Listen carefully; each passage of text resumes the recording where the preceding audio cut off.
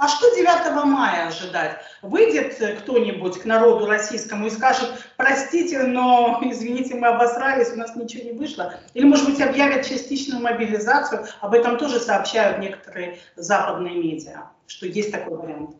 Э, да, действительно, техники маловато, даже в Москве на 60 там, с лишним единиц будет меньше на параде, некоторых образцов не будет, там Т-80 не будет, Панцирь-С не будет э, в, на, в, со, в составе парадного расчета.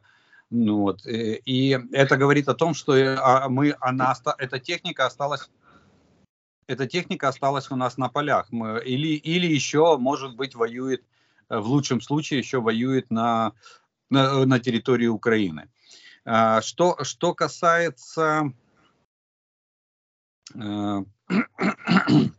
Э, что касается самого 9 мая, то я не думаю, что Путин э, будет огорчать э, или разочаровывать российское общество а, вот такими заявлениями, как всеобщая мобилизация или глобальной войной. Нет. Кстати, как некоторая часть общества даже ждет от Путина, что он объявит об окончании а, в это самое, военной, военной специальной операции в Украине.